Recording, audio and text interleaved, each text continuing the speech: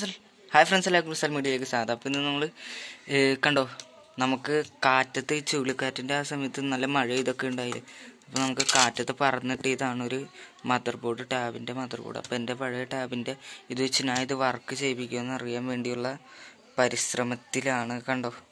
ഞാൻ ഇതിനകത്ത് വയറിങ്ങൊക്കെ ചെയ്ത് ഇത് വർക്ക് ചെയ്യുമെന്ന് അറിയാൻ വേണ്ടിയുള്ള പരിശ്രമത്തിലാണ്.